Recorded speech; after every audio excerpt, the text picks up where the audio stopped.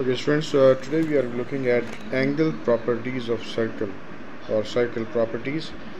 Uh, we have to find out the angle ADB and then we have to find out the angle BCD and ABCD are the points on the circle with the center O. Okay now just uh, have a look at uh, the first angle that is ADB. ADB if you just see over here is the angle at the circumference at the outline. And AOB is the angle which is given which is the angle at the center. What is the property of the circle? Uh, angle at the center is twice the angle at the circumference. So ADB will be uh, 70 divided by 2 which is 35 degrees. So your answer ADB is 70 divided by 2 which is 35 degrees. That is your answer. BCD is the angle over here.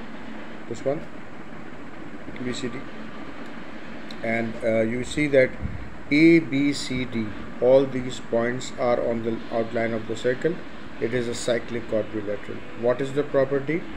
The opposite angles in a cyclic quadrilateral is equals to 180 if I see that uh, this is the angle over here uh, this is OAB which is a uh, isosceles triangle.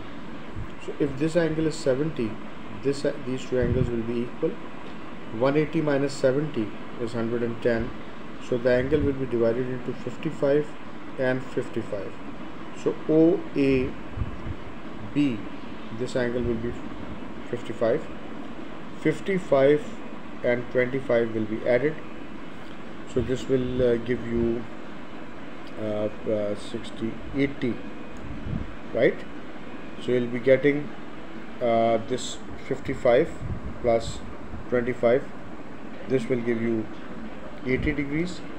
So if this angle this entire angle is 80 the opposite angle over here will be 100 degrees because the opposite angles in a cyclic quadrilateral sum up to 180 so BCD BCD is this angle that will be 100 degrees. Why? Because this angle over here is 80 degrees